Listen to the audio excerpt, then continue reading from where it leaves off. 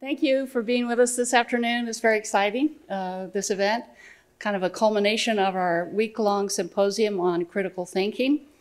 Uh, I want to welcome everybody who is with us today, either here live in person or uh, live streaming, including our colleagues and students at our Panama City, Florida campus. Welcome to everybody. This afternoon's presentation marks the end of the 2019 Critical Thinking Symposium Truth and, and Misinformation in Media. The week started with a Rhodes Scholar presentation by Dr. Alan Luden of Wake Forest University and ends today with our keynote address delivered by Glenn Kessler. In between, we've held more than 13 events for students, faculty, staff, and the general public. There have been escape rooms and fake news jeopardy, escape room, Oh, no. Faculty panels on teaching critical thinking skills, discussions about developing critical thinking skills in lower division courses, and presentations by librarians on detecting faked videos and detecting deceptive data and statistics in news. This symposium is an outcome of our quality enhancement plan that FSU approved and implemented in December 2014. Our plan outlined our commitment to enhancing critical thinking skills among our juniors and seniors. To date, 45 grants have been distributed to our faculty in all 17 of the colleges and schools that are offering undergraduate degrees. We have projects on the Panama City campus in Florida and on our campus in Panama City in the Republic of Panama. So far, more than 6,000 students have uh, directly participated in courses that have been modified to enhance critical thinking skills, and that number continues to increase. In addition, faculty and staff have written and presented about their efforts in venues both nationally and internationally. I think it's fair to say that cr the Critical Thinking Initiative has had a significant impact on all of FSU's campuses. Faculty have changed the way they teach, how they ask questions, and how they assess student learning. I want to thank today uh, Len Hogan, who's our director of our quality enhancement program, and all his wonderful staff, and the planning team that made this event uh, happen today and all the events of the week. Uh, I think that uh, they've made a, a giant contribution to our university and to the betterment of our students' experiences while they're with us. We've made a commitment early on to put the information that we gathered as part of our QEP or Quality Enhancement Program uh, to work. The Critical Thinking Symposium is one example of that obligation. And of course, President Thrasher is a big champion of this initiative, and we're glad that he's with us here today. So it's now my pleasure to introduce President John Thrasher.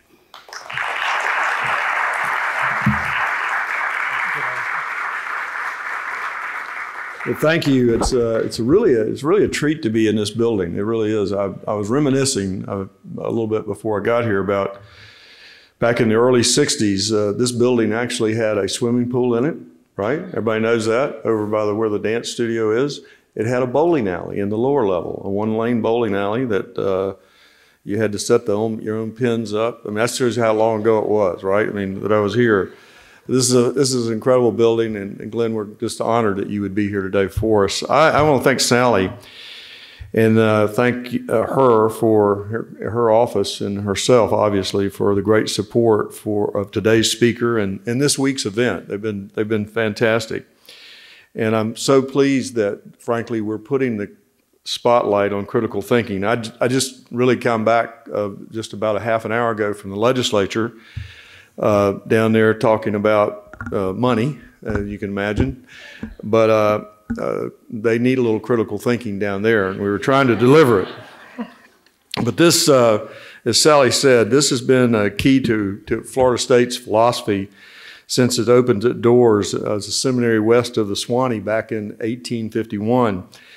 We've always felt strongly that a college education should not be a, a passive experience and that uh, students simply need to learn uh, what others already know. That's that it's, it's part of that, and they need to be engaged in that kind of thinking.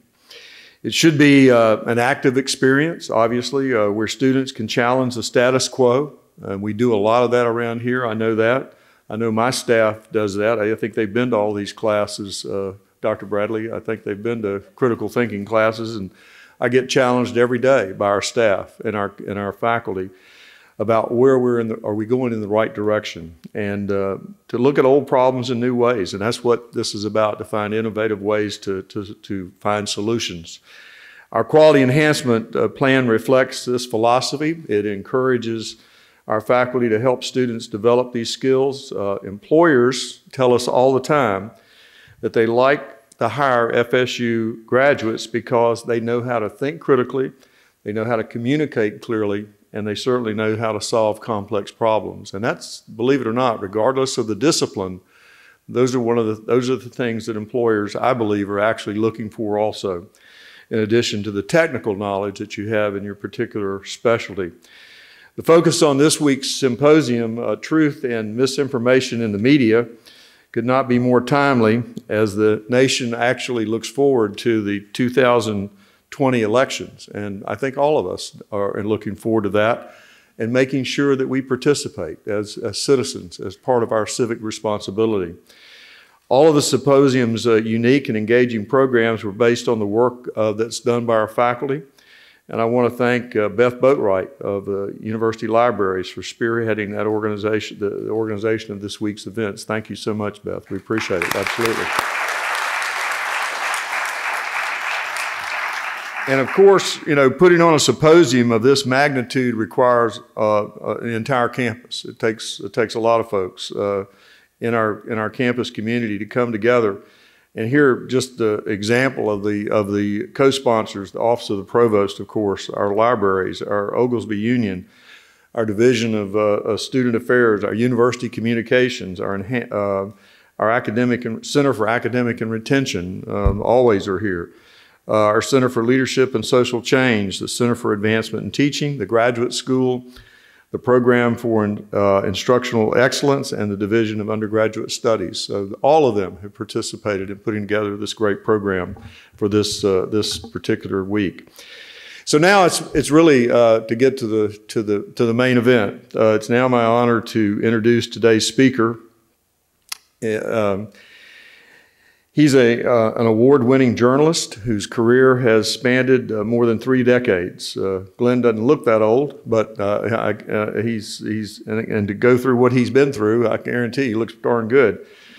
Uh, he has covered foreign policy, economic policy, the White House, Congress, politics, airline safety, and Wall Street. And any one of those, any one of those would be enough for, for a career, obviously.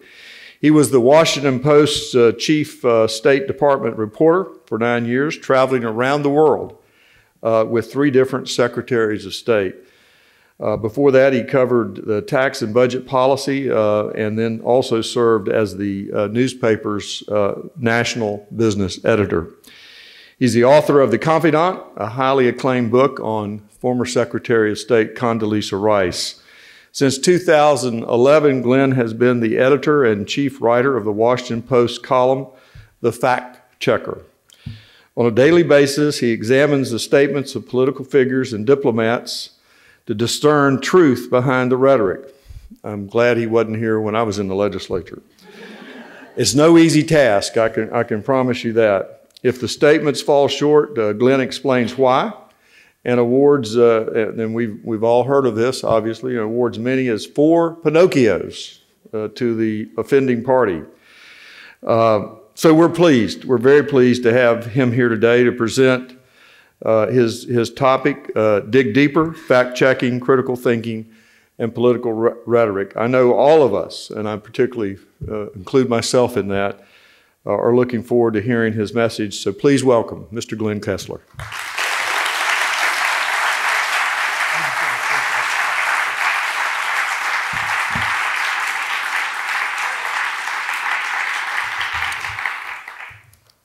Thank you for inviting me to speak to you. It's a real honor.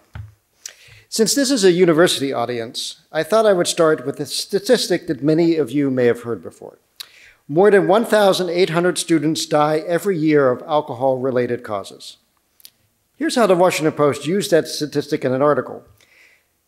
Quote, Senate backer said that a prohibition on grain alcohol sales is a priority for college administrators eager to curb the sort of heavy drinking that causes more than 1,800 alcohol related deaths of college students each year in the United States.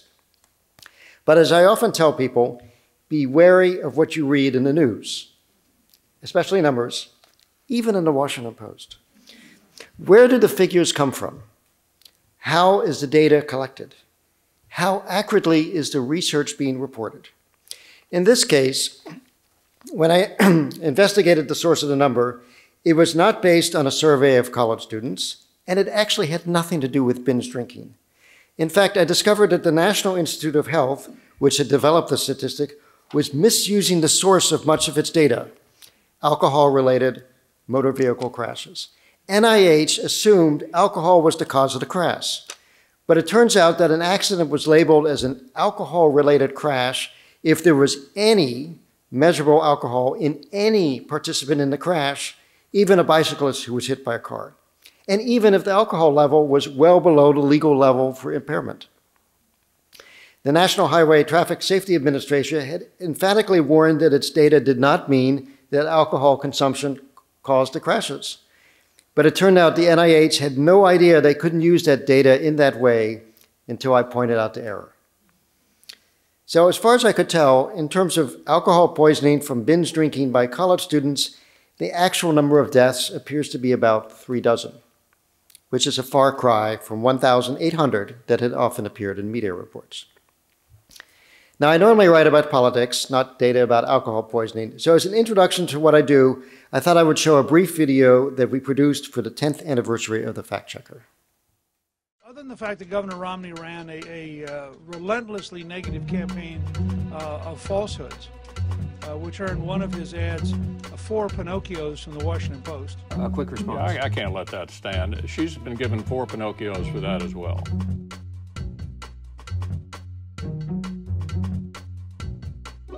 Well, when the Washington Post fact checker examined this claim, they gave it four Pinocchios. I am four Pinocchios, which is the worst rating possible. In 2015 alone, without my even asking, they gave me no fewer than eight Pinocchios. The Washington Post did a partisan fake news hit piece and gave me, the voter fraud victim, a four Pinocchio score on truthfulness. I better say think, otherwise they'll give me a Pinocchio. And I don't like those. I don't like Pinocchios. If you're talking specifically about WikiLeaks, we have one example which we use of Glenn Kessler, as you know from the Washington Post.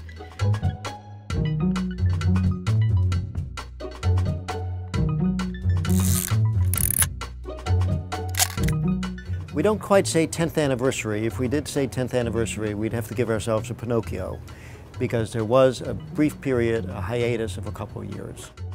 Politicians speak in code words they twist uh, information in order to advance their agendas. And so if you're a regular reader of the fact checker, we think that you'll get, come away with a better understanding of complexity of foreign policy or domestic policy, healthcare policy, any kind of policy issues. Where are the fact checkers? Where are the fact checkers? Pinocchio.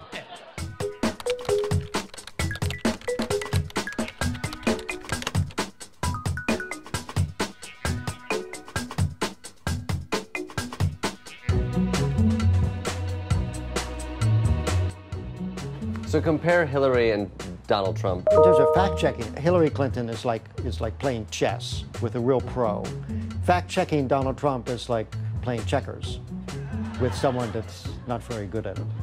It's pretty boring. It, you find Donald Trump boring? Yes, his facts are so easily disproven. There's there's no joy in the hunt. All right. The fact checker was originally launched during the 2008 campaign as a temporary feature started by my former colleague, Michael Dobbs. Now, before doing the fact checker, Dobbs had been a distinguished diplomatic correspondent. And when the editors of the Washington Post approached me in 2011 and asked me to revive the fact checker as a permanent feature, I had been the chief diplomatic correspondent of the Post for nine years. So you might wonder, what does writing about diplomacy and foreign affairs have to do with political fact checking? The answer is that diplomatic reporting requires close scrutiny of words and phrases in order to determine their deeper meaning. Diplomatic statements often obscure the reality of the situation. You have to learn how to crack the code. For instance, a diplomat might emerge from a meeting and say the two countries had a frank exchange of views. That really means they were screaming at each other. When I was covering the State Department, one of my editors said to me, Kessler, I just realized you write about fog. Sometimes it's light fog, sometimes it's dark fog, but it's still fog. And so, since diplomats are trying to obscure differences and smooth over trouble spots, a good diplomatic reporter has to be attuned to even the slightest changes of wording. One of my biggest scoops was when I reported that the Obama administration was prepared to let U.S. officials meet one on one with Iranian diplomats to discuss the nuclear issue. Under the Bush administration, such contacts were forbidden. The story appeared on the Post website, and I immediately got an anxious call from a White House official asking, How did I know this? The answer is I've been posing the same question for weeks to a senior American diplomat Will the Americans talk to the Iranians?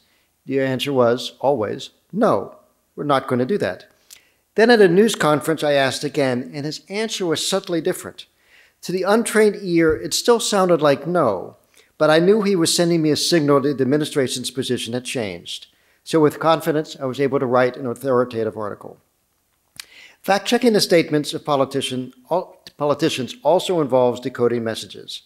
Politicians and interest groups use facts and figures to buttress the arguments for whatever policy they're advocating. I look upon politicians as salesmen. And just like most people would not buy a used car without checking under the hood, Neither should people accept what a politician says who advance his or her policy preferences without checking out the facts. In politics, you only succeed if you win. And after more than 30 years of covering government, politics, and diplomacy, I have found there's little difference between the two main parties on one key issue.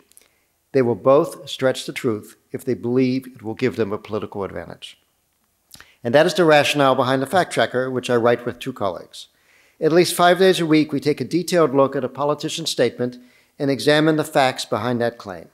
And then we make a ruling, ranging from one to four Pinocchios on how truthful the statement is. It's kind of like a reverse restaurant review. so, one Pinocchio is selective telling of the truth, some omissions and exaggerations, but no outright falsehoods. For instance, Democrats often assert that women earn 81% as much as men. Now, that's a statistic from the Commerce Department. Uh, I'm sorry, Census data, Commerce Department. So that's a legitimate source. But it's just one of many ways to measure this problem, and it happens to be the worst. Differences in the life choices of men and women, such as women tending to leave the workforce when they have children, make it difficult to make such simple comparisons. If you adjust for various factors, the gap is not 19%, 19 cents, but could be as little as 5 cents. Two Pinocchios means significant omissions or exaggerations. Some factual error may be involved, but not necessarily. A politician can create a false, misleading impression with, by playing with words and using legalistic language that means little to ordinary people. As an example, Senate Democrats in 2017 claimed that Supreme Court nominee Neil Gorsuch should have met a standard, so called, the standard was their word, of 60 votes for confirmation. Now, it only takes a simple majority, 51 votes, to be confirmed for a position in the Supreme Court. So, what were they talking about? 60 votes was a reference to the number of votes needed to end debate on a nomination if one side chooses to launch a filibuster. But filibustering a Supreme Court nominee was a rather rare event. It had only happened four times in U.S. history. In fact, two of the Supreme Court justices on the court at the time, Samuel Alito and Clarence Thomas, were confirmed with fewer than 60 votes 58 for Alito and 52 for Thomas. So the Democrats were being slippery with their language. 60 votes is not a standard for Supreme Court confirmations, but Gorsuch would have needed 60 votes to proceed to a confirmation vote if the Democrats had decided to engage in a rarely used parliamentary tactic. And of course, as you know, they did try to go that route, and the Republicans responded by ch changing the rules to allow a simple majority vote. Now, three Pinocchios is significant factual error and or obvious contradictions. This is when things get increasingly untethered from reality. For example, during the primary debates in 2016, Texas Senator Ted Cruz said that studies by the Marines found that putting women in combat ended up increasing casualties both among women and among men, and a decreased military effectiveness. So we looked into this. Turned out only one study had been done by the Marines, and it actually said nothing about the presence of women in units and the impact of casualties the, within the unit. The report did say that women were prone to more injuries on the job, which reduced combat readiness, but Cruz ignored the other findings in the report, such as the fact that women overcame their reduced height and weight by using creative problem solving, something men don't do very well. So Cruz completely twisted the results of the study for political purposes. Now, four Pinocchios is for whoppers. And frankly, that's just about everything Donald Trump says these days. I have never encountered a politician so cavalier about the facts as President Trump. Now, just about every politician earns a four Pinocchio rating at some point. It's maybe one or two times out of every 10 rulings. Hillary Clinton, for instance, earned four Pinocchios 15% of the time.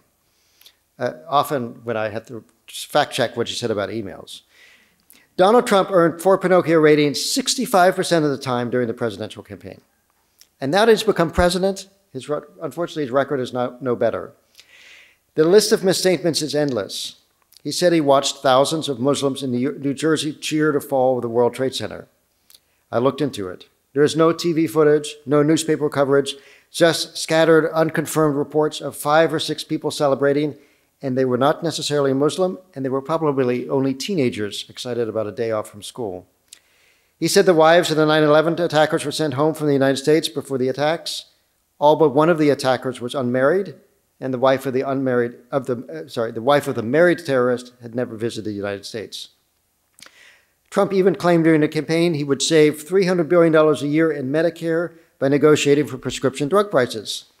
That was a neat trick Medicare only spends $78 billion a year on prescription drugs. It was more than fuzzy math, it was fantastic math. Trump said he received just a million dollar loan from his father and turned it into a $10 billion empire. First of all, most experts who've looked at the numbers say he's not worth 10 billion, maybe at best 3 billion, probably much less than that. But more to the point, his father gave him more than a single million dollar loan. Trump inherited tens of millions of dollars we used to think it was about $40 million, but a recent New York Times investigation revealed it was many more times than that. His father guaranteed a $70 million loan on Trump's first big project, the Grand Hyatt in Manhattan. In researching the matter, I found many other loans as well, including the fact he borrowed $9 million from his father's estate. Most famously, when one of Trump's casinos was teetering on the edge, unable to make a mortgage payment, his father bought $3.5 million in gambling chips and did not use them. The hotel then used the cash to make the mortgage payment. Gambling regulators said later that was an illegal loan. Now that he's president, Trump's proclivity for making false claims continues unabated. He falsely says that millions of undocumented immigrants voted in the election, just enough to give him the edge in the popular vote, but there's no evidence to back that up. He accused President Obama of wiretapping him, again with no evidence. He takes credit for budget savings such as $600 million on a Lockheed jet fighter that he had nothing to do with.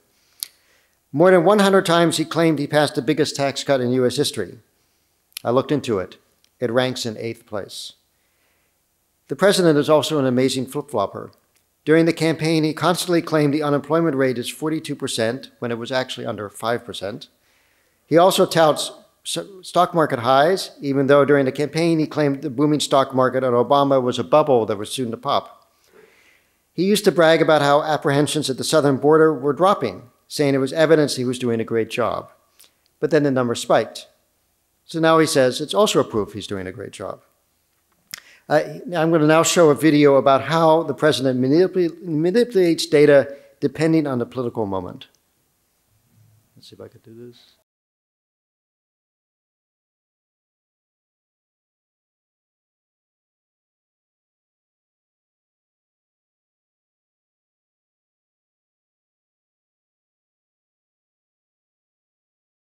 Under Republican leadership, America is booming, America is thriving, and America is winning again, winning like never before. We're respected again. We're respected again as a nation. President Trump often uses data to support his case for America's sudden success. Uh, the job market at 3.7% is the lowest in 50 years. It's the best employment numbers we have in 50 years. But just three years earlier, he warned supporters not to believe the official rate. I mean, you could have a 30% unemployment rate, real rate. I'm talking about a real rate. An economist and a very smart guy two weeks ago said the real number is 42%. So let's say that's high, but say it's 30 or 25 or 20 or 15. One thing we know, it's not 5.2, 5.3. The thing is, the unemployment rate has steadily been declining since 2009. Trump's rhetoric about job growth is similar. People wanting to get jobs is a mess, despite the numbers. You know, you hear numbers, but you have millions of people out there that want to get jobs, they can't get jobs because we don't have good jobs. Now he says the opposite. We've created 4.5 million new jobs since the election, a number that was unthinkable. If I would have said that during the campaign, oh, they would have given me a hard time. In reality, slightly more than 4 million jobs have been added since Trump took office. And more jobs were created in every year of Obama's last term than Trump's first. Trump has even used both sides of the same statistic to prove one point. You know, the border's down 78%. Under your past administrations, the border didn't go down, it went up. And you got bad dudes coming in, but they're not coming in with us. We have set records on arrests at the borders, nobody even close. Both claims are made about the same data set. Trump just flipped the script to present the rosy picture. The president rarely shies away from the chance to highlight his success, even when it means manipulating data to tell a better story. So at the Washington Post, we have been keeping careful track of his President Trump's statements. At last count, he has made almost 9,500 false or misleading statements in the first 801 days of his presidency. That's an average of nearly 12 claims a day. Even more astonishingly, even after Trump has been proven wrong, he goes out and repeatedly says the same false claims over and over again. Most politicians would quietly drop a false talking point. Mitt Romney, for instance, in 2012 used to say the United States was the only country in the world in which people put their hands on their hearts during the singing of the national anthem. After I gave him four Pinocchios in a column that included YouTube clips of people around the world singing the anthems with their hands on their hearts, he never said it again. On rare occasions, we give a Geppetto checkmark for a completely truthful statement. It does not happen often, but hope springs eternal. We, we tend to reserve this category for claims that are unexpectedly true. As an example, Bernie Sanders tweeted earlier this year the Walton family makes more money in one minute than Walmart workers do in an entire year. My first impression was no way. Bernie, after all, tends to be a little fast and loose with his statistics. But I checked. The Walton family earns $25,149 a minute in dividends. Assuming a 40 hour work week, your average Walmart worker makes $24,960 a year. So Bernie earned a Geppetto. Now, I will readily admit the Pinocchios are a bit of a marketing gimmick. It's not especially scientific and it's open to subjective analysis. The line between two and three Pinocchios is sometimes fuzzy, but I do find it to be a useful tool for maintaining consistency over the months and weeks and years of writing columns. One key goal of my column is to help consumers of news become better judges of fact-based statements. I want to help readers become more discerning about hearing the weasel words and caveats that politicians routinely insert in their statements in order to present a more rosy or dire picture than the facts would suggest. One of my favorite examples is when President Obama declared, Chrysler has repaid every dime and more of what it owes the American taxpayers for their support during my presidency. Now, every dime and more sounded like such a bargain, and it kind of made the president sound like a used car salesman. Not only did Chrysler pay back the loan with interest, but the company paid back even more than they owed. But then you see that Obama snuck in the weasel words in my, during my presidency in a statement. So what did that mean? It turned out Obama was only counting the $8.5 billion loan he made to Chrysler, not the $4 billion loan that George W. Bush extended in his last month in office with Obama's support. In reality, U.S. taxpayers did not recoup about 1.3 billion of the entire 12.5 billion dollar investment when all was said and done.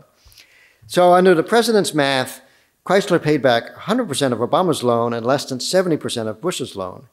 A more honest presentation would have combined the two figures to say U.S. taxpayers got back 90% of what they invested. Obama thought he got away with this by inserting the words, in my presidency, in the sentence.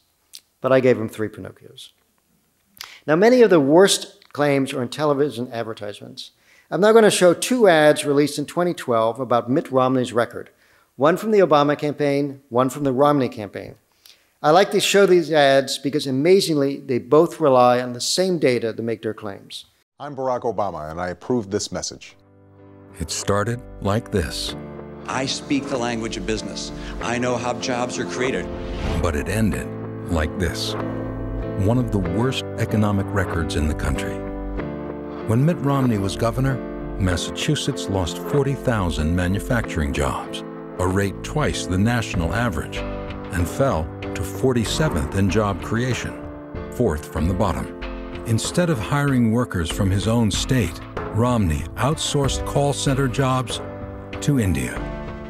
He cut taxes for millionaires like himself while raising them on the middle class and left the state 2.6 billion deeper in debt. So now, when Mitt Romney talks about what he'd do as president, I know what it takes to create jobs. Remember, we've heard it all before. I know how jobs are created. Romney Economics. It didn't work then, and it won't work now. Mitt Romney on day one. The difference is strong leadership. As governor of Massachusetts, Mitt Romney had the best jobs record in a decade. Romney reduced unemployment to just 4.7%. He balanced every budget without raising taxes. He did it by bringing parties together to cut through gridlock. From day one as president, Mitt Romney's strong leadership will make all the difference on jobs. I'm Mitt Romney, and I approve this message. I always hoped that these ads would appear right after each other so voters were completely confused. So, what's going on here? It depends on how the ad makers manipulated the statistics from the Bureau of Labor Statistics. The Obama ad says that Massachusetts fell to 47th in the nation. That was a blended rating over four years, and like Obama when he was president, Romney started his governorship in tough economic times. So a blended figure brings down the overall record. The Romney ad, which said he had the best record in a decade, was not comparing him to other states, but to previous Massachusetts governors. That's a pretty low bar. The Obama ad says Romney raised taxes and fees. Romney says he raised no taxes. The key word there is fees, because Romney did not really raise taxes, but he did boost fees dramatically, which some people would say was a stealth tax increase. The Romney ad says he balanced four budgets. The Obama ad says he increased the debt by 2.6 billion. Massachusetts, like just about every state, requires a balanced budget. The governor has no choice, and state debt is largely different than national debt. This is mostly for capital investments, though Romney did continue a trend of paying for some operating expenses out of debt. So these ads are good examples of how the same data can be spun in different ways. But sometimes ad makers mislead by omission. I'm going to play a small clip from a pro Obama film narrated by Tom Hanks. And it involves the death of the president's mother and suggests that is why he was motivated to work for a health care law against the odds.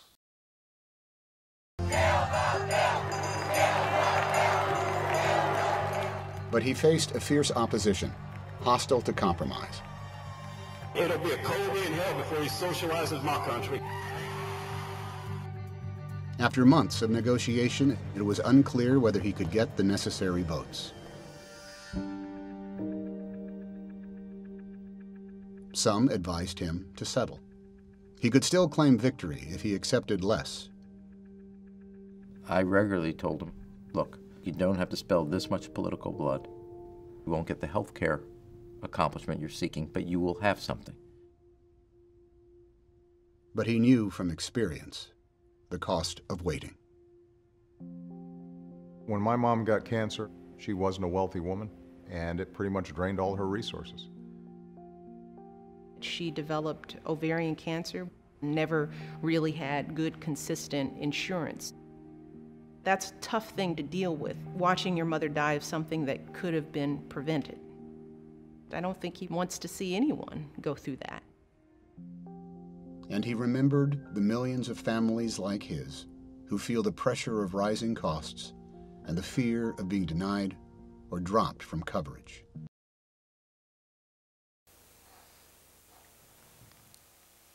Well, this was very touching, but it's very misleading. It's an interesting example of how snippets of interviews can be arranged to leave a particular impression without actually being individually untrue. The sequence evokes a famous story that candidate Obama had told during the 2008 campaign that his mother, Stanley Ann Dunham, fought with her insurer over whether her cancer was a pre existing condition that this disqualified her from coverage. Here's how he put it Quote, For my mother to die of cancer at the age of 53 and have to spend the last months of her life in the hospital room arguing with insurance companies because they're not saying that this may be a pre existing condition and they don't have to pay her treatment, there's something fundamentally wrong about that. But the story was later called into question after the election by Dunham's biographer. The fact that Obama's initial claim is not directly repeated suggests the filmmakers knew there was a problem with the campaign story but they clearly wanted to keep some version of it in the film. What actually happened is that Obama's mother had a dispute over disability coverage. Disability insurance helps replace wages lost to an illness, but her health insurance actually covered most of her expenses from ovarian cancer. The film does not directly repeat the claim that Obama's mother was denied health insurance because of a pre existing condition, fighting for treatment in her hotel room. But look at what it does say. Hanks says the president knew the cost of waiting on reform. Disability insurance, however, was not an issue in the healthcare debate. Second, the president said cancer, quote, drained all her resources. Health insurance actually paid for most of her bills. So this was not a case of someone being bankrupted by tens of thousands of dollars in bills. Her salary for working for a non governmental organization in 1995 was $82,500, which is the equivalent of $136,000 today. Michelle Obama said Dunham, quote, never had good, consistent insurance. It's unclear what she means by this. Maybe that Dunham had different jobs, some of which did not provide insurance, but she actually had good coverage when the cancer was discovered. The First Lady also suggests that death, quote, could have been prevented. But again, it was not an insurance issue. Before going overseas for a position in Indonesia, Dunham was too busy with work and had skipped an important test recommended by her doctor that might have spotted the cancer earlier. Then an Indonesian doctor diagnosed her problem as appendicitis and removed her appendix. By the time cancer was finally discovered, it was third stage. And finally, Hanks says Obama's family felt, quote, the pressure of rising costs and the fear of being denied or dropped from coverage. Maybe for disability payments, but not for health insurance. So as you can see, there's nothing technically inaccurate, but it all adds up to highly misleading and I gave this three Pinocchios. Increasingly, even local congressional campaigns have become nationalized. But I would warn you that cookie cutter ads and attacks can actually undermine candidates. Voters are increasingly sophisticated about political attacks and can spot something when it's not authentic. In the 2018 midterm elections, ads produced by the National Republican Congressional Committee, the Congressional Leadership Fund, which was associated with then Speaker Paul Ryan, and individual Republican candidates all charged Democrats for supporting a universal health plan backed by Bernie Sanders, even if the Democrats are not supporters of the Sanders plan. Here's a video we put together.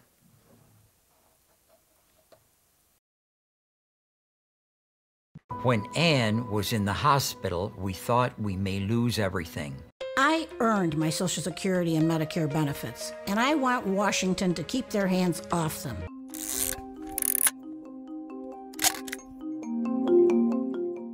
Elaine Luria has quietly committed to step towards a big government healthcare takeover. Government takeover of healthcare. A big government takeover. And that's a $32 trillion budget buster. And cost of $32 trillion. $32 trillion. Explode the national debt. It almost double, double the national, national debt. debt. Experts say they'll have to double everyone's taxes to pay for it. Making employer coverage illegal.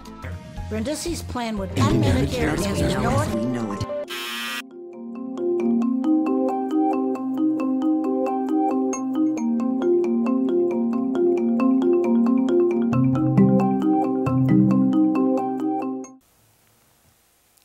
Now, there are certainly Democratic candidates who supported Bernie Sanders' plan. One could have a legitimate debate about whether it makes sense to completely transform the healthcare system along the lines envisioned by Sanders and how such a transition would be financed. Some Democratic candidates have, may have straddled a line between expressing support for a single payer concept and the current system, which some of these ads seek to exploit. But other, others had been clear they did not support Sanders' plan. So it was simply absurd to tag all Democrats with the same broad brush, and I would argue it backfired in the end. Now, one reason why Republicans tried to make an issue of Medicare in the last election is because they were under fire for their failed effort to repeal Obamacare. Many House Republicans voted for a repeal bill, but then they were left high and dry when it could not advance in the Senate. But there were a few Republicans who voted against the repeal bill. So here's an example of a Democratic ad that tried to artfully get around that fact.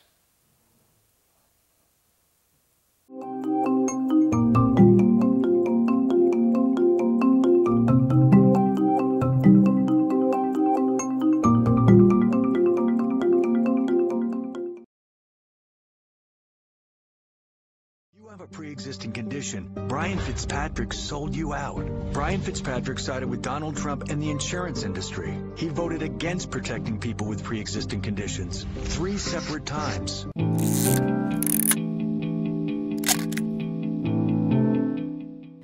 These votes had to do with parliamentary actions, not final votes.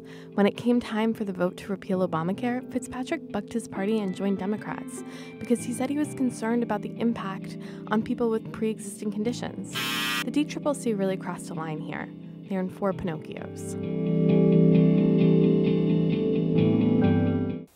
So, as, as our video showed, Fitzgerald Fitz, Fitzpatrick bucked his party to vote against one of the president's top priorities, the repeal of the Obamacare, specifically because he was concerned about the impact on people with pre existing conditions.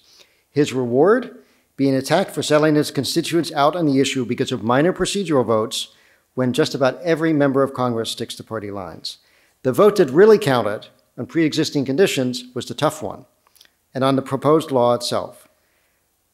I wrote at the time, you would think the Democrats would at least applaud him for his courage, but apparently that's not the way the game is played these days. One of my favorite parts of the job is debunking statistics that have somehow become part of the national conversation. I started off by noting the statistic on alcohol abuse among college students. Here are some others which involved going through the, some strange down some strange rabbit holes. Democrats often say that 40% of guns are sold without background checks but that's not true.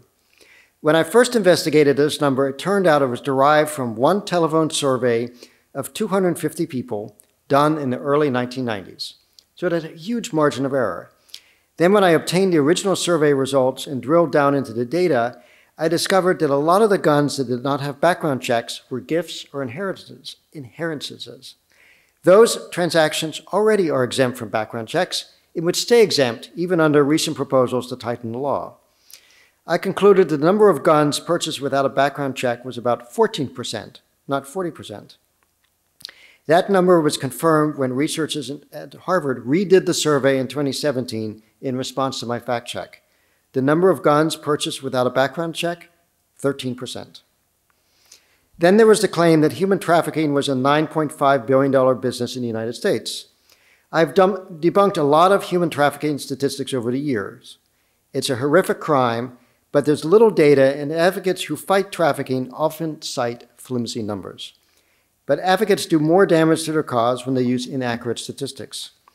In this case, politicians said that this $9.5 billion estimate was from the FBI, and they could point to a State Department report in 2016 that said it was an FBI number.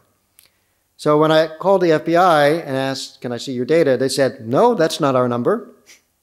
And the State Department couldn't tell me where they got the number. I finally concluded that the $9.5 billion figure came from congressional testimony in 2004 by an official at ICE, but it was not for profits from human trafficking in the United States. He was talking about profits for human smuggling around the world. Smuggling, of course, does not involve the use of force or coercion. Unfortunately, because of the State Department's error, the $9.5 billion figure had been wrongly cited as an official FBI estimate for human trafficking in books, congressional research reports, and many other studies. And like I said, the State Department has no idea how they made this mistake. More recently, I investigated a statement that Amnesty International estimated that about 60% of migrant women are raped as they journey through Mexico. You probably read it in news reports during the debate over President Trump's wall. The Washington Post even used this number in one of its news reports on the front page. So I got curious. Where did this come from? Well, it turned out this was not an Amnesty International estimate. It had been misreported for years, including by Amnesty. Where did it come from? I first traced it to a 2010 report issued by Amnesty International. So already you can see there's a problem.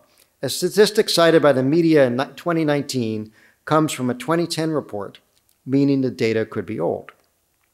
Buried in the report is this line quote, It's a widely held view shared by local and international NGOs and health professionals working with migrant women that as many as six in 10 migrant women and girls are raped. The sentence had a footnote, so I followed that. This time the source was a 2002 report in Spanish written for the UN Population Fund. So now the statistic is getting older. When I located the UN paper from, 20, from 2010, I discovered that the Amnesty report had cited the wrong source and then had mischaracterized it. The UN paper said, quote, 60% are subjected to some form of sexual abuse during the trip, ranging from sexual coercion to rape. Okay, so now it was a figure about sexual abuse, not just rape. That UN paper, in turn, cited as its source a book published in 1998 by a refugee organization sponsored by the Catholic Church in Guatemala. In other words, the statistic was now more than 20 years old. I couldn't find the book in the library, but it was for sale on Amazon. So once it arrived, I eagerly turned to the pages to find the source of the data. Imagine my surprise when I read this. Oh, hold on. Uh, it said, Quote, a study of migrants estimates that 60% of the illegal female immigrants have some sort of sexual experience in their trip to the US, from rape to coerced sexual relations to a lover. In other words, the original source of the 60% statistic included not just rapes or sexual abuse, but also the experiences of women who may have had a boyfriend on the journey, whether out of necessity or desire. And to top it off, the book provided no source for this alleged study, and when I located the author, he could tell, not tell me where he got it. But in any case, the figure came from interviews supposedly conducted a quarter century ago, making it completely irrelevant now. This is an example of academic telephone tag, where each reference to the statistic takes you further from the original meaning. That is why you should, you should always check the footnotes to see where the data comes from. More recent studies I located indicated the percentage of women raped as they travel through Mexico is about 10%. That's still high, but it's much less than 60%. What's the lesson from these examples? If a statistic sounds too fantastic or extreme, there's probably a good reason for that. Now, in recent years, interest in political fact checking has exploded around the globe. In 2011, there were just three, four fact checking organizations in the world, three of which were in the United States. Now there are more than 150 fact checking organizations in just about every country in Europe and Latin America, and it is spreading across Africa and Asia as well. 22 countries have more than one fact checking organization. It turns out that voters in many countries want to hold politicians accountable for their statements and promises. The internet has empowered non governmental groups and journalistic organizations to challenge politicians and even bring accountability and journalistic rigor to countries without much of a tradition of press freedom. These groups are able to spread their reports through social media at a fraction of the cost of traditional newsprint based media. I helped craft an international set of principles to guide this movement going forward, which included committing to fact check all political parties fairly and without favor. Members of the International Fact Checking Network, which agree to these principles, are assessed every year by outside experts to make sure the organization is living up to these principles. Now, one question I frequently get from non journalists is how do I prevent my own personal political beliefs from swaying the rulings I make on statements by politicians? I think it's a funny question because as a journalist, I am trained to let the facts lead the way rather than whatever personal beliefs I might have. But I can understand how, in this highly partisan age, people can be surprised that personal beliefs do not play a role in reporting. But that's the way it works in journalism. The facts matter, not the politics. In fact, I challenge anyone to read the fact checker for a month, and I guarantee you, you will not be able to figure out my personal political beliefs. I'm tough on everyone and have managed to annoy just about every interest group in Washington. During the campaign, anti gun groups became riled because after Clinton said in a debate that 33,000 Americans died from guns every year, I noticed in a fact check that 60% of gun deaths in the US stem from suicides. Anti gun groups thought that fact was irrelevant. But there was actually no documented link between suicide and access to guns, according to the National Academy of Sciences. In fact, Japan has the toughest gun laws in the world and the highest suicide rate. Expanded access to information has many advantages, but the technical, sorry, the technological changes also have come at a cost. Newspapers and evening news shows used to provide Americans with a common point of reference. Now Americans are increasingly sorted into ideological cul-de-sacs, able to decide if they want their news slanted left or right. The internet, in other words, has helped open a world of information and facts for Americans. But that freedom is wasted if Americans are content to absorb facts and political analysis that match their blue or red political inclinations. We seem to have gotten richer with information, but poorer in knowledge and understanding. I hold politicians to a especially high standard because I believe they have a responsibility to use facts and figures that are beyond reproach, especially in this increasingly partisan divide. We can argue over policies, but we should not have to argue over facts. And if a politician has to manipulate the facts in order to sell his or her policy proposal, then maybe there's something wrong with the policy rather than with the facts. But actually, the responsibility rests with you. Diversify your social media feeds. You will learn more from people who challenge your assumptions and preconceived notions. Be open to new ideas, but don't jump to conclusions. And always dig deeper. And I'm happy to answer any questions.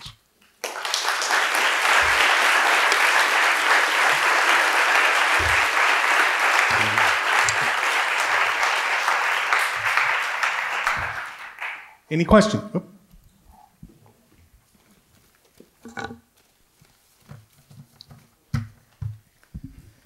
Hi, thanks for your uh, work with the fact checker and for talking to us today. So I'm I'm uh, really interested in, in a couple different things that could be going on in fact checking, right? So we can check whether something is true, or we can do this more sophisticated thing that you're talking about, where we um, see whether something is technically true but maybe misleading. But then I'm also interested in this like further step where uh, we kind of evaluate maybe the structure of the argument uh, that the facts are supposed to be plugged into, right? Where we think, look, even if this was true, would the conclusion that somebody's trying to argue for actually follow?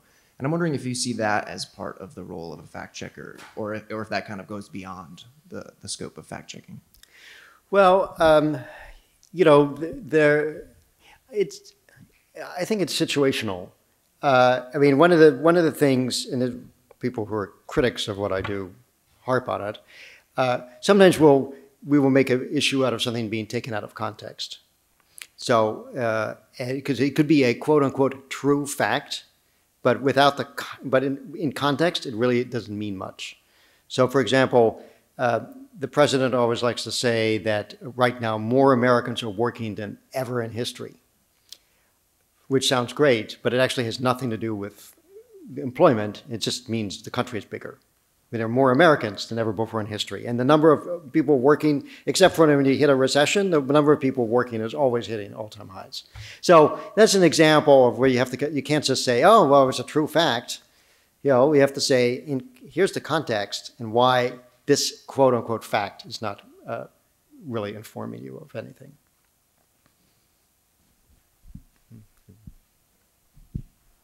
Hi, I have a question about uh, trust of people, like the public, like the trust between people and the public and journalists. Because I feel like over the past decade or so, there's been like this fractured trust between the public and as journalists. And like as a journalist myself, since like I write for the college newspaper, it's this thing where people are always suspicious of you when you want to um, like interview them or you're saying what you're covering, especially if it's something political. And I was just wondering, like in this current like era, like my generation has known nothing but partisan news. Like I don't know what nonpartisan news looks like. And so I'm wondering like how like how we can combat that and how we can like restore trust if that's even possible. Yeah, I don't know. It's um, it's tough. uh, particularly when the president is always saying that, you know, accusing the media of fake news. Um, you know, he uses the term fake news to describe articles that he doesn't like. Uh, you know, uh, at the Washington Post, we really do not produce fake stories. We might produce incorrect stories, or we might produce stories that got something wrong, which we then try to correct as soon as it's pointed out. But, you know, if you were to invent a source, that's a firing offense. We don't invent sources. If you were to write something that you knew was incorrect, that's a firing offense. So, you know, we try very hard to be accurate uh, and careful and balanced, uh, but we're also humans. Uh, I often say, you know, it, it's both for journalism and also politics. You know, when it looks like conspiracy, it's usually incompetence. Uh, and, you know, I, I, think a lot of times reporters, this is almost my guide to young reporters. A lot of times reporters might say, oh, the politicians have done this, done that. And it's, it's really just incompetence, you know, what the politicians did. Same thing with bad stories or screwed up stories that emerge from newspapers. Uh, uh, often it, there's a whole bureaucratic explanation as to how something like this happened. Um, so, in terms of restoring trust, uh, the best thing is just to be as accurate as you can and to be as fair minded as you can. Um, uh, you know, we really try hard to do that at the fact checker. We don't, we, you know, uh, we really don't play favorites. And in fact, I'm very excited with the upcoming uh, election because now we, we've been stuck having to do lots of fact checks of Republicans and it got a little unbalanced. So now we're going to be doing lots of Democrats. Um, though they seem, the one un, uh, bad thing from fact checking is that so far the Democrats, in order to strike a contrast with Trump, seem to be really trying to be careful with their facts. So a couple of times I've called them up and they said, all right, we'll drop that from our talking points. We won't say it anymore.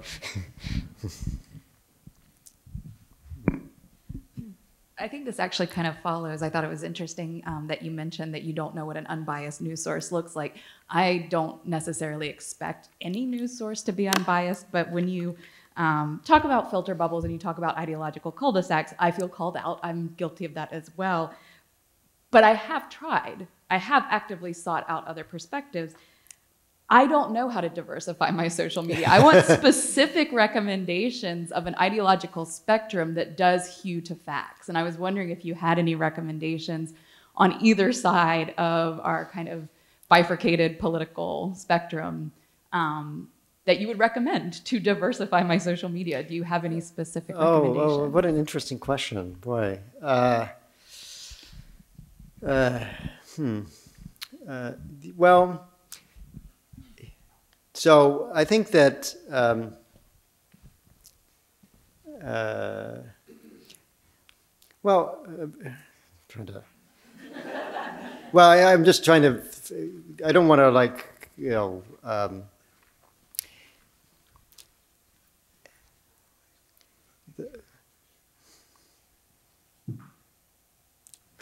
you put me on the spot here. Yeah, yeah, yeah, yeah.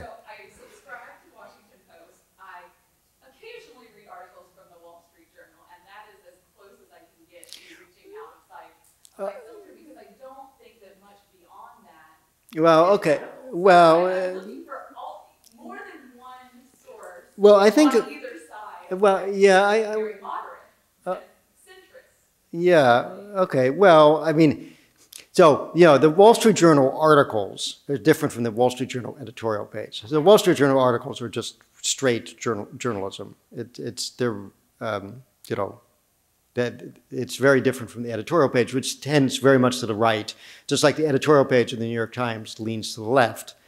The Washington Post editorial page is kind of socially liberal, or is domestically liberal and conservative on foreign policy. It's kind of in the middle. But there, there's really a like what we call it in journalism, a Chinese wall. The editorials don't. So when I was saying diversify your social media feeds, it was less about, you know, what uh, news source to look at, and more about looking at columnists that would challenge your thinking. So if you tend to, are you on the left side? I guess. Okay. All right. Well, then, um, you know. Uh, the uh, uh, well, for instance, so he unfortunately he passed away, but Charles Krauthammer of the of the who was at the Washington Post was a really distinguished, very thought provoking writer from the right. So, um, you know, and you, uh, so and you know, the New York Times has a guy, uh, Stephens, I think, who's kind of playing that role at the New York Times. The the the one problem we faced at the Post with our conservative columnists is that virtually all of our conservative columnists hate Donald Trump. So you suddenly had like all the liberals saying Donald Trump is horrible and all the conservative columnists. So we actually went out and hired some columnists that like Donald Trump just to provide. So there's this guy, Hugh Hewitt, who writes for the Washington Post, who is very much always tries to find the absolute bright side of whatever positive side of what Donald Trump is doing. There's a guy at the Washington Post named Marc Thiessen, who is conservative. Uh, Tierson, who is, um, uh, you know, Trump skeptic, but often trying to find the right way of looking at things.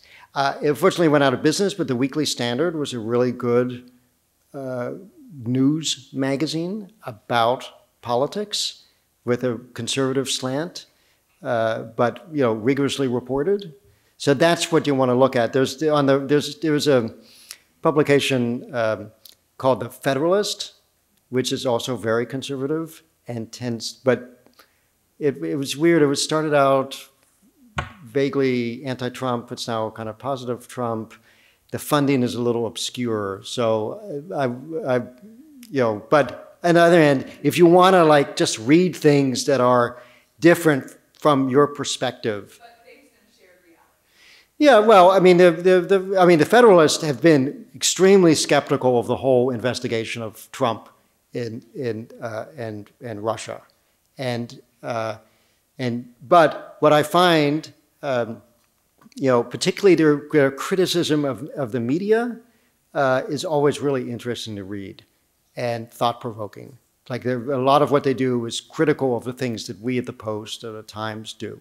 And I make a habit of reading it just to get a different perspective and understand how, you know, someone who on the outside is assessing our coverage. I don't always have to agree with it, uh, but there are times also when I look at it, well, you know, that's that's worth thinking about.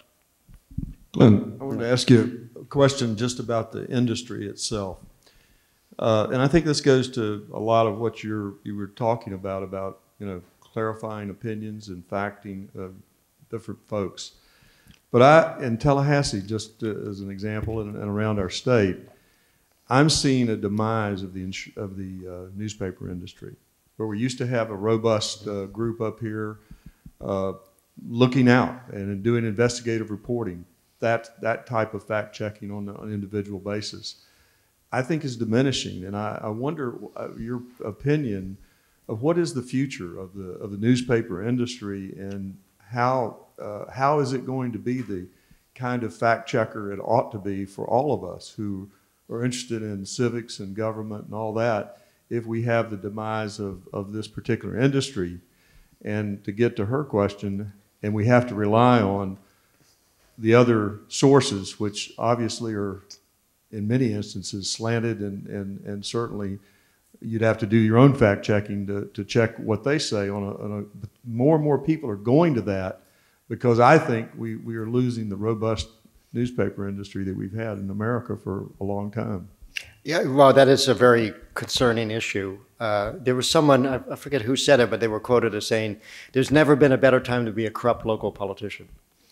Uh, because you don't have the, the scrutiny and the local coverage that I mean, there was a statistic I saw this week uh, that Cleveland Plain Dealer just laid off a bunch of people, and their staff is now 32. It used to be 10 years ago, it was a staff of 320.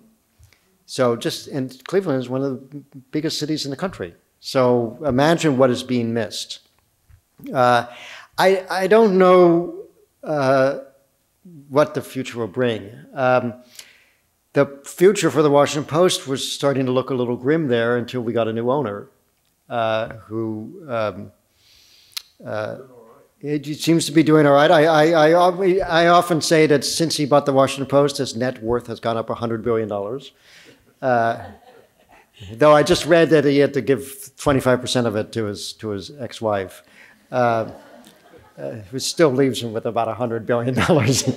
uh, so, um, the, um, uh, so, you know, but that's, you know, and, you know, so that has really helped us in, you know, really expand our coverage overseas and, and, and in the United States uh, I think, is a really important time. Um, and, you know, there's now a, a new billion dollar billionaire owner of the LA Times who seems to be investing in that. I don't say that the solution is, you know, billionaires have to suddenly, you know, adopt newspapers around the country, but um, there's a uh, there's an organization called ProPublica, which is uh, also financed by some very wealthy people, uh, and it does only investigative journalism. And they've announced that they're going to start partner, doing partnerships with local newspapers to uh, investigate uh, things going on there. And in fact, they, they it's funny, when they announced uh, they were going to start doing this in Kentucky, that then uh, the Republican governor got very upset about these outsiders coming. But the first investigation they did exposed all sorts of malfeasance by Democrats. So it just shows that um, you know this is what good reporting can do. So maybe that's a possible model where where you have uh, the local people are supplemented with the work of, of people like that. I have a question uh, for you from our Panama City campus. Um, they wrote in, uh, it seems that one of the main challenges encouraging critical thinking is the extent to which people are ignorant of the idea of a filter bubble. Their behavior on the internet and in real life shapes the information they encounter and often um, leads them to information that they're most interested in or that might confirm what they already believe. So, what do you think is um, perhaps uh, either the most significant challenge or, or perhaps a good idea that would help us um, educate people about the ways in which they're being targeted by information or misinformation, or how could we best help them break out of information silos? And is social media helping or hurting? Yeah, well, it's it's a double-edged sword, and um, and that's why I was saying we have access to more information, but we seem to have uh, become less informed.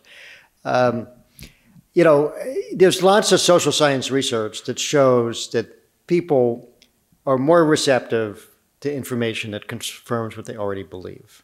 Uh, and it's just like, you know, you never notice the car ads until you're in the market for a car, and suddenly all you see on TV are car ads. So it's just, it's like, you know, if you, so there was actually a really uh, amazing study done where they, um, it's kind of complicated, I won't get into details, but they were able to demonstrate that, that people that were, you know, leaned left or leaned right automatically look at numbers a different way if it confirmed what they already what they already believed, even though ma they mathematically they understood it was wrong. They just couldn't believe that information was pre presented to them that conflicted with what they believed.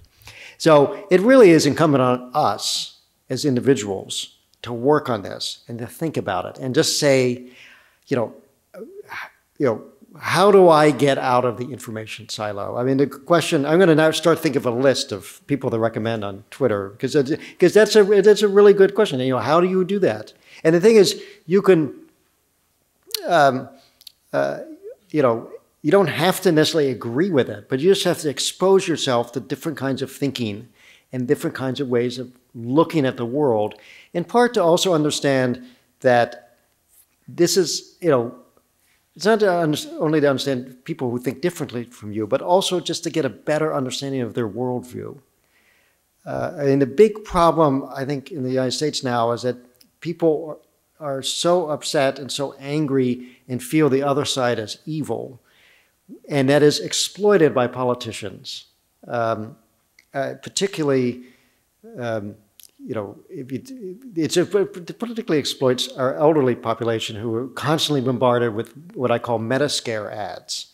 And, you know, both the Republicans and Democrats have proposals that would try to restrain the growth of healthcare spending, which is threatening to really hurt the federal budget. And you know, when you guys, you know, you we don't want to have it around when, when you guys are ready for retirement. So and yet the the way and and you can argue over the policy and say, well, we don't like the way to do this, we don't like the way. But the problem is, no matter what the other side proposes, everyone says eh, they're going to take away your Medicare. When it's actually just approaching it from different ways. So rather than say, let's see if there's a way we can actually resolve this problem, it just becomes a political, you know, sword. And uh, you know, you can't look at the other side as total evil. They're just, you know, think differently, and you got to figure out how they think differently didn't you. Hi. Um, Yeah. Thanks for everything you're saying today. It's very interesting. But I'm always interested in how things work. And so, how do you get your job done? How many staff do you have working with you?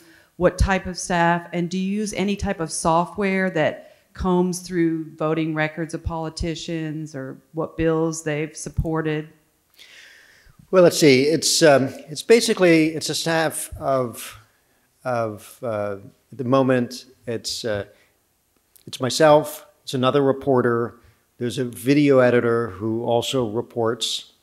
We've also had gotten recently this year a two hundred fifty thousand dollar grant from YouTube to allow us to expand our video fact checks. So we have another video person at least for this year.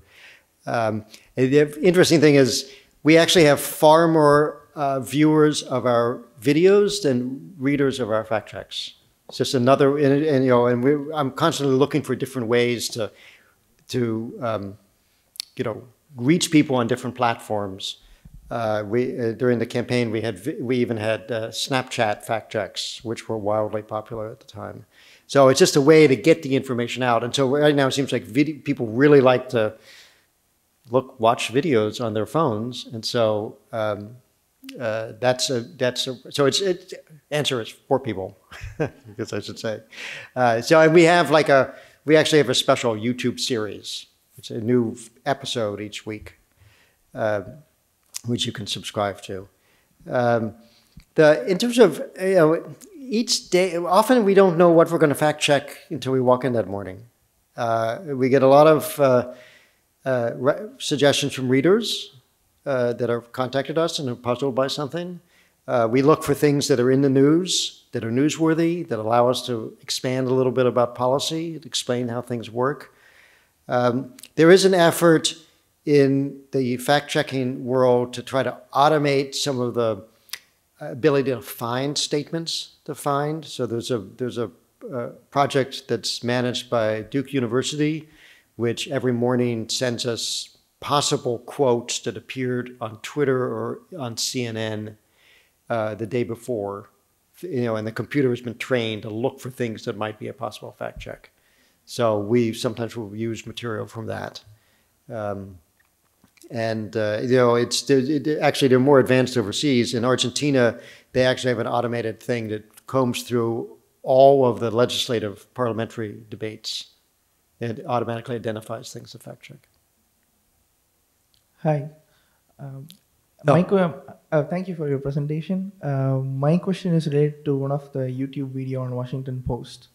So it's basically it was uh, about the Green New Deal, and uh, the reporters who are presenting that said when there was a website which described the possibilities of uh, some misinformations presented in the website by the by the house or the group, and then they later took it down at a different time because of that confusion, which was presented a misinformation and later it was removed, the reporters from Washington Post said they are not going to award any Pinocchios for this situation.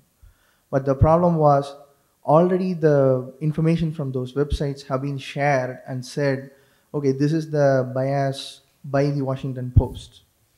So how do you resolve that kind of an issue? Well, I think that uh, the reason we didn't end up giving Pinocchios, they could, we we offer an opportunity to uh, people when we fact check that if you admit you made a mistake, we're not going to award Pinocchios. I mean, people make mistakes. Uh, we're not trying to play gotcha. Uh, most politicians do not take us on that offer. Uh, they would rather get the Pinocchios than admit they made a mistake. Uh, but in that case, um, the uh, uh, the office of Ocasio Cortez said that you know they you know what happened. Just so people understand, you know, there was the Green New Deal, which is, you know, legislative text, and the AOC staff tried to put up a, tried to put together an FAQ, which would explain, answer questions. So in a sense, it was trying to go beyond the dry text of, of what, you know, stuff that looks, a lot of the bills in Congress or, resolutions are incomprehensible to most people, so we were trying to do an FAQ. But the FAQ included some kind of, you know, sardonic humor, such as eliminate, talking about eliminating cows or eliminating airfare, uh, airplanes, uh, which, you know, it was just total catnip for opponents of this, and they've tried to exploit it. You hear the president talk constantly about how the Democrats want to eliminate cows and planes. Uh, but it was it was posted, and then they they claim it was a, like an early draft, and it was a mistake, and they pulled it down. So pretty quickly, actually. Um, so in that case, you know, it doesn't always have to result in Pinocchios, and we we determined that you know since they told us we made a mistake and we've withdrawn it, which is what you're supposed to do. A lot of times people leave documents up on the web. The only way you can find this is to go in the Wayback Machine. It did not seem like an occasion for Pinocchios. Well, I'm going to cut the conversation. Glenn is going to hang around for a little bit, but I hope you'll join me in saying thank you to Glenn for being here.